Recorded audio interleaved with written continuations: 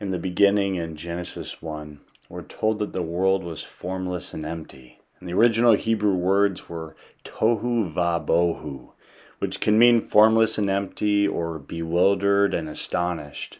And it's within these primal forces of chaos with darkness covering everything that God said, Let there be light. And then he called the light good. And in John's first letter, he tells us to walk in the light, to not be blinded by the darkness of the age, because we are a people of light who embrace all that is good, which is just what this world needs right now.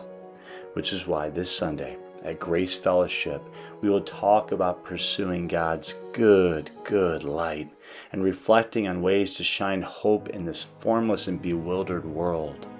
So you and your family and friends are invited to join us in person or on Facebook Live, and we promise we'll leave the light on.